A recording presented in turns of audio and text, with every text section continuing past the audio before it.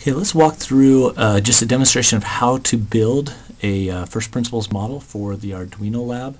What we're going to do is just come to the, uh, just go to apmonitor.com and then uh, select the process control course.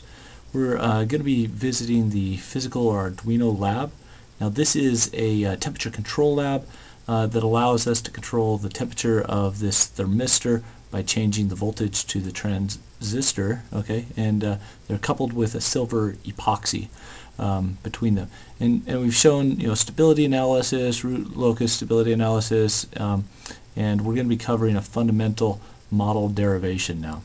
Okay, so let's um, let's just go ahead and open up a, a new sheet here, and what we're going to do is is just um, talk about our, our model. Okay, so we have a transistor, and we're just going to name this M. We have uh, some silver epoxy, I'll name that S, and then we have our thermistor um, as well. And so we have, um, you know, the power, we can adjust the voltage coming into the transistor, and then we're measuring uh, the temperature uh, coming out of the, uh, the um, thermistor. Okay, so in the thermistor. Um, so one way to do this is just to uh, write our energy balance around the whole thing. Okay, in, in that case I have uh, mass times C sub P dt dt okay equals and then I have um, maybe a, a, heat transfer coefficient so we have energy loss just due to uh, convection and uh, that's going to be ambient temperature minus the temperature of the device. And then we also may have um, let's say uh, radiation uh, terms. Now thermal radiation um, again that's just going to be T ambient to the fourth minus the temperature of our device to the fourth. Um, and then we have our our generation term um, for the energy and that's going to be uh, V times I. Okay so that's going to be the power that's going to be dissipated across the uh, the transistor. Um, okay, so so this is our um, okay one model of this, and uh, you know we can we could also split this up into three if we wanted to. If we wanted to, um, let's say, model the temperature of each one individually, we would write an energy balance um, around each of them, and uh, so so let's let's try that as well. Let's just, um, you know, we, we could have either one. We could do a lumped one or we could do each individually. Um, let's just go ahead and try um, to do each one individually. And so we need an energy balance around each one. Okay, so I'm going to do MC sub P, and I'll just do T. Um, I'll do 1, 2, and 3. Okay, and uh, you know, what, what we would need um, you know, it's, it's, basically the same thing as, as before. You could include radiation or not include radiation. I'm just going to leave uh, radiation out of this one just because, um, you know, it's only really only applicable at very high temperatures, and so it'll probably be insignificant for the temperatures that we're going to be using for this lab. Okay, so I'm going to do MCCP DT1, okay, and then we have H, A, T ambient minus T okay, T1, um, and then uh, we might have a, a, conduction term into our second um, one. So I need a cross-sectional area times a, a, thermal conductivity, and then I have a delta x, and that would be T1 minus T2. Okay, so this is the energy that's lost, uh, that's transferred to the uh, the second uh, the second control area, and then we also have our V times I. Okay, so that would be the first one, and that would model the dynamics of just that first piece.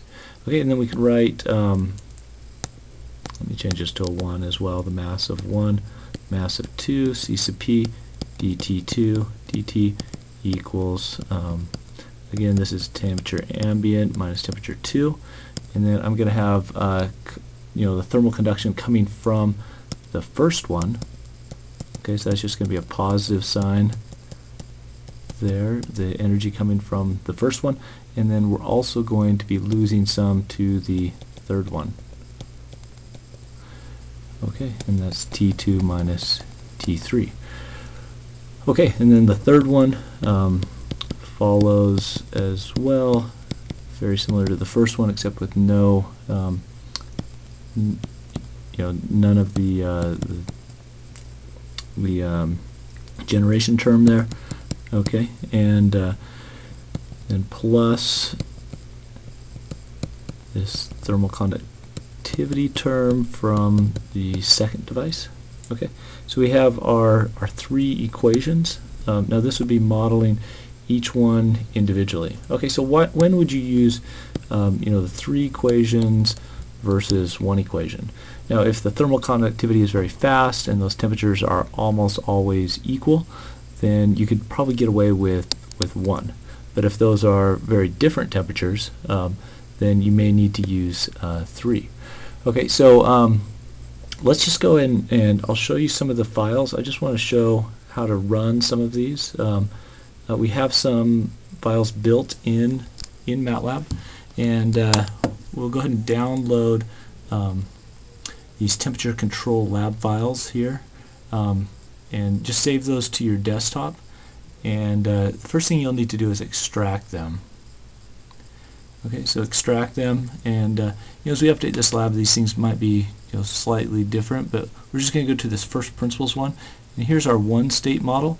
Um, and uh, and then we also have a three state model okay? And uh, in the one state model we'll have um, you know an AP monitor MATLAB AP monitor okay? And if you open that up you'll see the one state model um, with our one equation here Okay, and that um, the dollar sign just means differential of temperature with respect to time.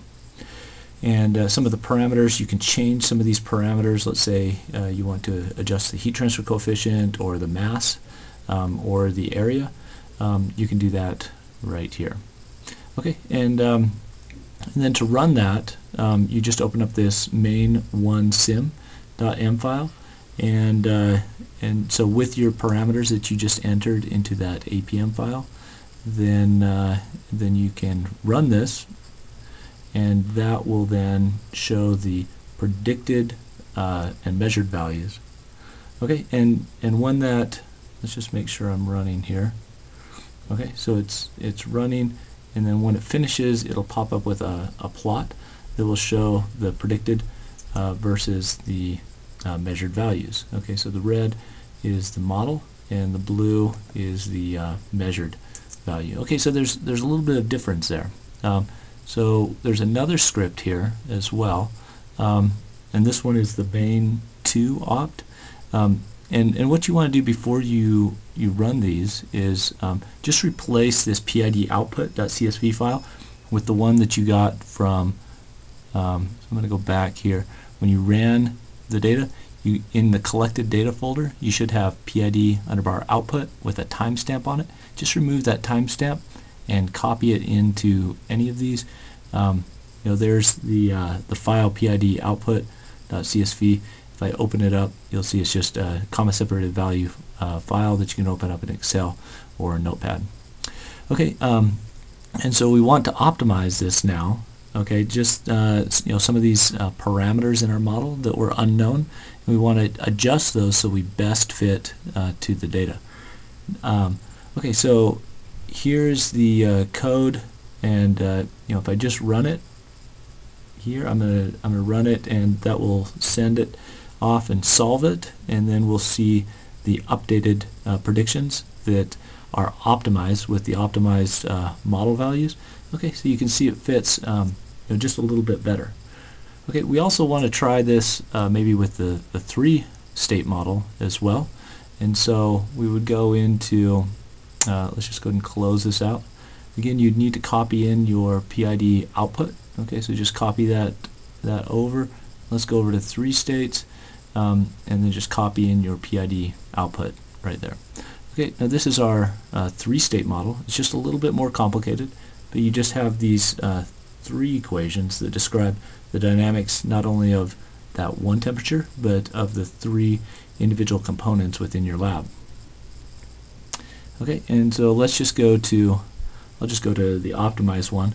Now this one may be just a little bit more accurate if we can't um, you know, if those three temperatures aren't the same um, or significantly different. So let's just run this and see how that assumption holds. Um, you know, just copy in your PID underbar output.csv file, and then you can run this, and it'll take that file and then use that to generate uh, these results.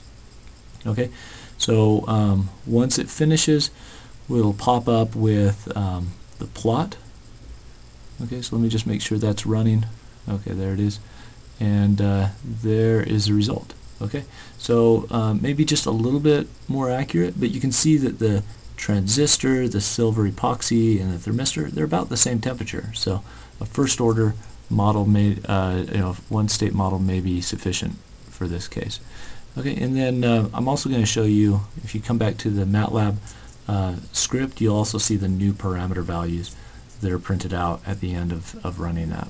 Okay, uh, there's one other thing I just wanted to show briefly, um, and that is, um, you know, I asked you to also compare the uh, linear model, uh, you know, linearize the model, and then um, also compare it to your FOPDT model. Okay, so um, you'll need to input your FOPDT model here um, just for the comparison. And then this is uh, some code that converts our three-state model into uh, what's called state space form. Okay, so this um, it uh, just linearizes the model. Okay, so this equation right here, I've linearized it with respect to T1, T2, T3, and the voltage. And then the same with our other equations, T1, T2, T3, and the voltage. And then I'm going to put this into a state space model form, uh, convert it to a transfer function form, and then uh, plot uh, these different um, values. Okay, so I'm just going to change um, folder here and uh, let this run. Okay, so I can see um, there is my first principles model and there's my empirical model. Now these are just made up numbers, uh, but you can use this script if you want to update your parameters. Um, just update them here. Let's say you had a different heat transfer coefficient or thermal conductivity. You can update those here and then just run the script and this will produce the comparison between the FOPDT model that you generate from empirical um, results and uh, the first principles. Okay, so um, so what we've done, just in summary, we um, derived um, uh, just a one-state model and also a three-state model, and then we've simulated those in MATLAB, and then compared the uh, linearized version of our three-state model to our empirical FOPDT model.